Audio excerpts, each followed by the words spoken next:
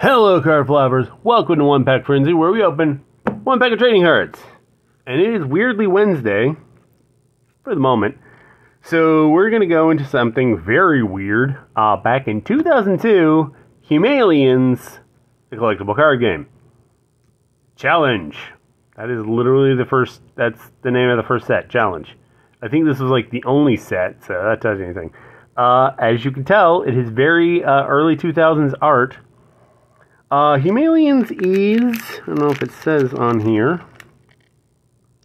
Life forms from across the universe struggle to reach the mythical planet Ha! Okay. Where ancient power and knowledge may save them from the threat of the robot invaders, and hopefully from an even greater menace that lays just beyond their senses and understanding. So they claim. Uh, yeah, it, this is a faction-based card game. You have a faction you build your deck for uh, humans, aliens, robots, um, beasts, and um, uh, Scrappy Doo. I guess I don't know. I was kind of glanced over the rules because apparently there's not really rules. It's just like a rules a rule sheet that explains everything. There's no actual rules. So we're just gonna go in here and uh, look at some weird art from back in the day. All right, starting off with Sabertron. Um, I think I saw them in concert once. Um, I think 130 is the EP cost because the, there's like two ways to win. You either have get 500 energy points EP, or all your characters become super beings. Um,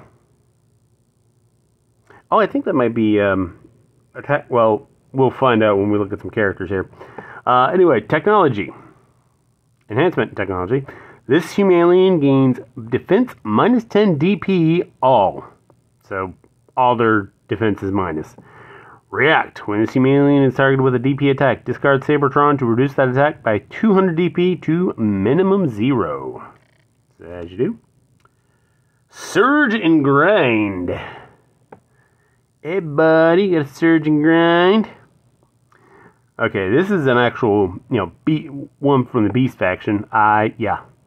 I'm thinking this is their 70s their EP. Um, this is their health, I believe. That would be the defense, and this is, yeah. This is probably health. Uh, attack. Roll one die. You roll a d10 in this game for attack.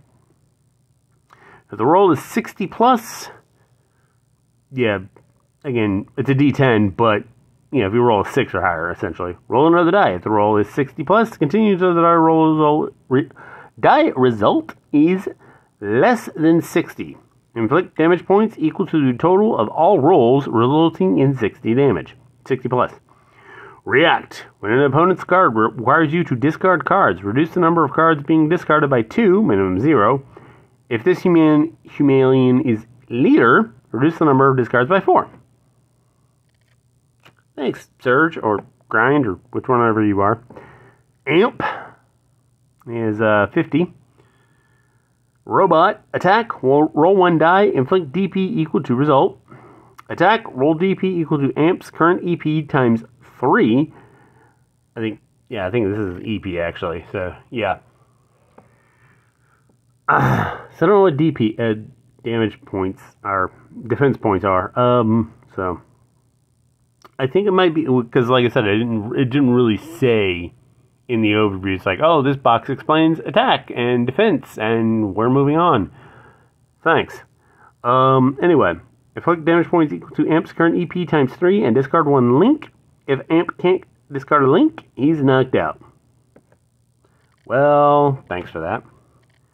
Katra. Uh, when mom says we have Pikachu at home. Uh, he's 80 points enhancement. Pet, which I think is uh, it's an acronym for something. Extra uh, portable extraterrestrial. Weird one. Um, react when this human alien attacks. Deal 300 um, D, uh, DP damage points. Uh, when this human when this react when this human human alien attacks. Roll one die. If the roll of 50 plus, inflict 70 damage points. Classic. He's human in his way. Uh, 80 points. That's his EP scale. Attack. Roll one die. If the result is 50 plus, inflict 80 damage points. Attack. Roll one die. If the result is 60 plus, roll another die. If the result is 60 plus, continue rolling dice until the dice result is less than 60. Wasn't that goddamn surging gland, surging grind? Yeah, that was our first ability. Can't be classic if it's the first set, dude. Uh, inflict damage points equals the total of all rolls, resulting in 60 plus. Justice. It is ethics. It's they're kind of like spells. Um, 60 points. React. When attacking, inflict 30 damage points to opponent's leader.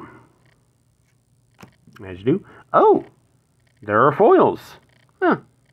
I. Eh. It's a rare foil too. Prism of Change.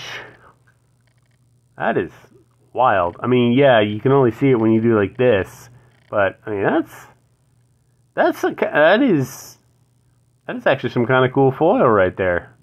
I like that. That uh, the foil job lends into the space theme. So points for that. I mean, at the very least, points for that. It is technology. Order. Reveal a Himalayan from your hand. Increase the EP of this Himalayan to match the EP of the revealed Himalayan. Discard the Prism of Change and the revealed Himalayan. I can see why this game didn't catch on. You have to see. Mm, unless you're really good at talking, Himalayan, good, it kind of gets you after a while. Zrex with some bad heartburn going on there. Are you kidding? Are you kidding, dude? You got uh, you need some Tums? Need some Rolaids? Rolaids spell relief, my dude. Uh, 100 points. Beast. Resistance 50 plus. I guess anything under 50 doesn't hit him. Uh, animal human. Wow. Parents must have had a fun night. Uh, attack. Roll one die for each technology linked to opponent to opponent leader. Minimum one die. And total results. Inflict DP equal to total. Ignoring technology cards on target. Attack. If Zerix has at least 140 EP, target any opponent frontliner and roll 1D. One die. If the result is 60 plus, knock out target frontliner. Oof. Nanara. Um, yeah, I got nothing on that one. Um, I was gonna say um, Nebula before MCU, but I mean, Nebula kind of existed in Marvel Comics before 2003. So, anyway, 120 hit points, 120 points. Alien attack, inflict 80, di- uh, 80 damage points direct. Roll one die. If the result is 50 plus, add the result to this attack. Damn. That's pretty good. Uh, we'll do a quick little rundown. Nothing else. You know, weird shit. Um, that's actually, pretty, I will say that is actually pretty good. That's probably the first edition sound right there. Because, yeah, they were going to be printing other editions of this game. Um, that's a pretty good ability. Right off, that is damn nasty ability. Um, honestly, he would be good to have for your opening because you start off with three creatures. You know, beast, alien, human, uh, robot, whatever. Uh, I think because I think each one has its own faction. Each one has its own faction symbol because I think that's alien. Because yeah, we got here. She's alien, obviously. Uh, beast, human. I think that's all I got because that's a beast. Uh, yeah. So, but uh, this one would be pretty good to have as your um, starter. So, because it's got resistance to, you know, resistance to fifty. Like I said, which I assume is just anything under fifty doesn't hit him. Um. Uh, yeah, if he's boosted enough, you can just knock out someone. So that is pretty good. Um, it's shiny. It's shiny. That's about all I can really say about it. I mean, it's not bad. You know, because yeah, the EP is this up here. That's what they start out with. Um, so yeah, boost. That's pretty good. It's good. Like I said, it's a good foil job at least. Um, that's na- that's pretty nasty. Just like when you attack, deal thirty extra. Um, actually, that would combo well with Zerex. Because if you're attacking the opponent leader, you can deal additional 30, uh, 30 damage to him. Bada bing, bada boom's day. There you go. Um, he's alright. Like I said, him having the same ability as, um, what, Shuck and Jive here? Uh, Surge and Grind. That's close. Uh, yeah, but I mean, if you're playing human, then he works out. If you're playing Beast, he doesn't work out. Uh, but yeah, he's it's pretty decent. I w- I wouldn't have him as an opener. I'd probably put him like later on, but um, uh, enhancements I didn't explain, but you can attach them to characters, so that they're additional things. Um, so that's a pretty good pet to have.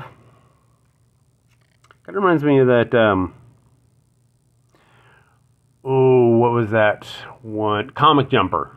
The guy who had the star on his chest, and the star was a snarky bastard. Uh, that was a fun game, though. That was a fun ass game. I don't really do bullet hells that much, but that was a good bullet hell game. Uh, Amp. Oh yeah, he's a robot. Um, it's not bad. But I mean, you gotta have a link on him, otherwise, he ain't shit. Uh, which I think a link is like any enhancement. So if he's got Katra, then he's fine. If he don't got Katra, you don't want to use that attack. I, th- I think you might have. I think it's like Pokemon. I think you have a choice in the matter. Um, this was pretty good. Like I said, the the first attack's good. The second one would be kind of a sideboard type situation. I mean, if your opponent's using discard things, then he's good. If not, you know, just his first ability. Um, that's actually kind of sneaky. I mean, yeah, it loot, you know, drops its damage pool, I guess. Uh, defense pool, something like that. But if someone attacks, you can actually just like take no damage and then you know actually get your defense back. All right, uh my MVP is it going to be Zerex. I said this is this is some art. This is early 2000s art. Uh that was a fun time if you were there. Uh any case, yeah. I mean, he's just badass all around. So in any case, that is HumAlien on this weirdly Wednesday. I will see you tomorrow. Have a weirdly uh, have a weirdly wonderful day.